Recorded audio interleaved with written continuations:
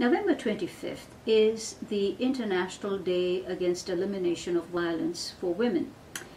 As a former chair of the Standing Committee on Status of Women, I worked with the uh, Attorney General of Canada to ensure that violence against women was put into the criminal code.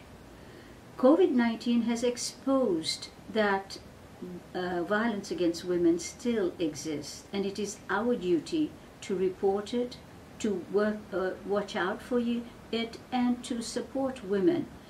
Our government has been in the forefront to provide support to various organizations who are working as shelters for women.